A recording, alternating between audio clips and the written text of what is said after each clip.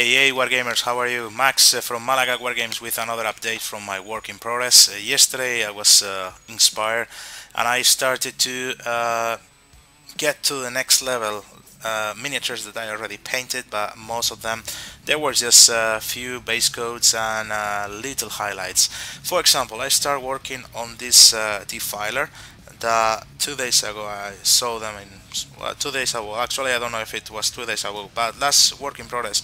Uh, it was just uh, base coats done uh, really tiny things uh, small details like uh, the lens and something else and I used it to battle. I already used some um, uh, sneaky hacks from the Citadel gloss washers the Reikland the Agrax Earthshade and Nuln Oil gloss so it has this uh, shiny uh, color. And I started working out on uh, dry brushing uh, Necron compound in all the all the miniatures. So the metal are pumping up quite well. And also I start working on some uh, let me check. If you can see with the gloss varnish. I need to make it math this. Okay I'm gonna put it on the distance yeah I think it's working. One second. Auto. Alright yeah natural light you will see it.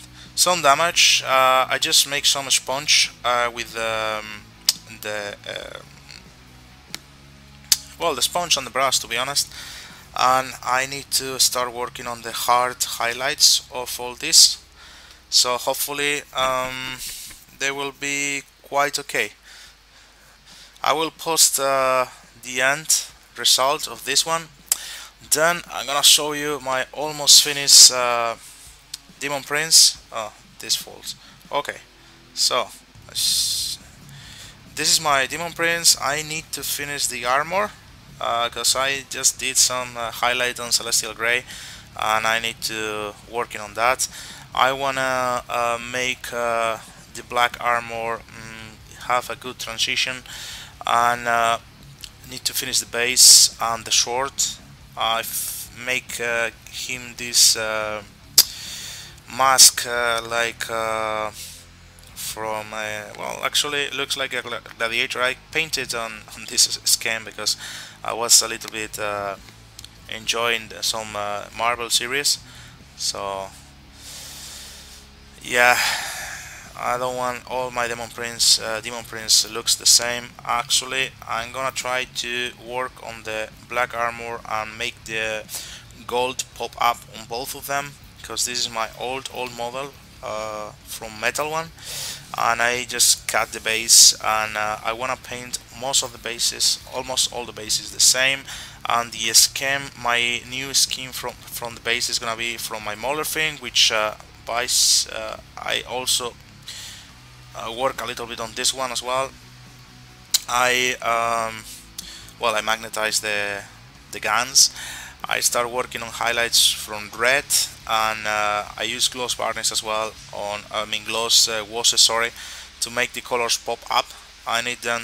When I finish I will uh, cover everything with uh, uh, matte varnish because I don't want these uh, miniatures being too shine because otherwise with the light from the from the places that I'm playing uh, they will be uh, annoying. It will be not appreciating the color. I need to work on the on the reds from the armor. I'm gonna do a sponging here uh, to make some sorry out of angle. Sponging here to do some uh, damage some chipping. I'm gonna try to uh, put uh, some kind of logo there from mainly from Khorne will be.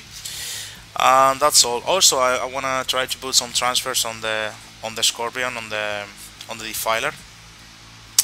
And uh, last but not least um, I'm gonna put the same color scheme on my Heldrake because uh, I have this old uh, Easyway dry brush base. So I want to put all this on um, on uh, hide and uh, some grass as well and leave the cork as um, as stones and then I wanna work on the on the reds because uh, I did this uh, dragon uh, this Heldrake, sorry, I make it um, fully with um, with brush and yeah, I mean on the camera looks okay, but close no.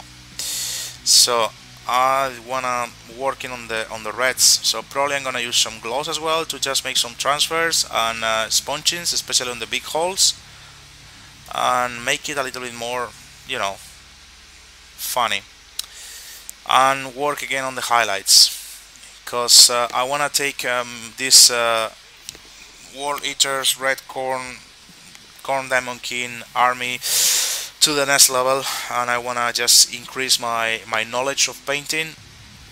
Because basically I have not much time to spare but um, when you start doing highlights on, on things like this if you two, you have two or three miniatures then it's easier.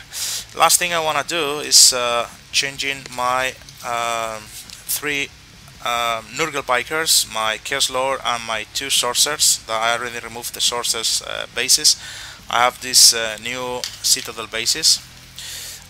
I'm not gonna do anything fancy. I wanna paint them. I'm gonna paint uh, them on the same uh, color scheme than than the Nurgle ones. I mean the uh, other ones that I have, which by the way match with the table that I have at home, just in case I wanna play some battles or something. I'm gonna have uh, most of my armies with the same color of the table. And on these ones I'm just gonna put some grass and maybe some uh, Nurgle drops uh, from uh, Nurgle and uh, that's it. Nothing nothing too fancy because the, the bikes are already I mean are already cool so I don't need to decorate too much the the base. And I have actually I have not, not much space to be honest. So as a part of maybe putting some rocks some some grass or something like that it's not gonna be much fancy. Last thing I was working as well is uh, on my uh, the, the, base from uh, Typhus. I wanted to try some um, uh, liquids uh, to make uh, like like gel you know the um, still water from Vallejo. And I covered up with uh, silo tape and then I fill it. But it was a hole and the liquid get out. Anyway it's still a bright green. I can still uh, put some grass use some Nurgling on the top and then try it again. You know I'm just practicing new techniques new things so mistakes can happen. It's always better when this happen on a on a miniature that is not even on the on the base but shit happens. So the end result should be something like this. You know like uh, more more pumping out the Nurgling greens and uh, you know more disgusting. And uh, that's all guys. Easy cheesy and really short. Thanks for watching and keep you update on another uh, get it painting or work in progress or whatever you want to call it this scenario right now.